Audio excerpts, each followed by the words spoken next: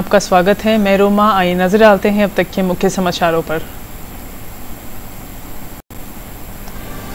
राष्ट्रपति द्रौपदी मुर्मू ने अठहत्तरवें स्वतंत्रता दिवस के अवसर पर नई दिल्ली स्थित राष्ट्रीय समर स्मारक पर वीर अमर शहीदों को श्रद्धांजलि अर्पित की।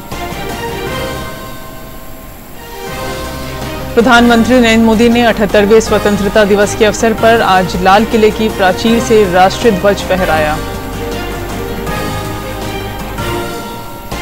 मुख्यमंत्री नीतीश कुमार ने पटना के गांधी मैदान में आयोजित मुख्य समारोह में राष्ट्रीय ध्वज फहराया।